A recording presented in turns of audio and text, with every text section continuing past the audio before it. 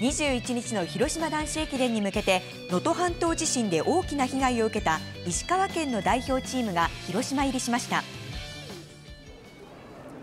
今日午後 JR 広島駅に到着したのは社会人大学生を除く中学高校の選手8人と監督スタッフ合わせて11人です。このうち中学生4人は能登地方の選手で避難所生活を経験した選手もいる中での大会参加です。到着してすぐ待ち受けた広島石川県人会の歓迎を受けました。石川の方で見ていらっしゃる方々もたくさんいると思いますので、えー、まあ、なかなか結果でっていうところはあの難しいかもしれないですけれどもそういった方たちに少しでも元気を与えられるように頑張っている姿を見せれたと思います